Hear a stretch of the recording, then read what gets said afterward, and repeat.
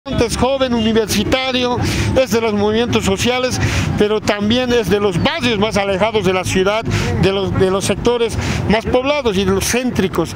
La, nuestro MAS PCP es, eh, ¿no? cuenta con la mayor militancia a nivel nacional. Dirigentes de la Confederación Sindical de Comunidades Interculturales de Bolivia insisten en pedir el cambio de la sede del Congreso del MAS previsto para los próximos días. Que nos hagan participar a esas confederaciones nacionales, al pueblo boliviano, a las organizaciones sociales que hemos parido el instrumento político. ¿Por, por qué están uh, conformando paralelos? Todas las organizaciones sociales que forman parte del Pacto de Unidad tienen que estar presentes en dicho encuentro. Caso contrario, las resoluciones no tendrían el valor respectivo, indicó. Sin el pacto, sin los movimientos sociales, sin la militancia, ¿no? La militancia, el Pacto de Unidad ha recuperado ¿no? la democracia. ¿Dónde estaban los dirigentes del MAS de los departamentos? ¿Dónde estaba la dirigencia nacional del movimiento al socialismo el 2019-2020?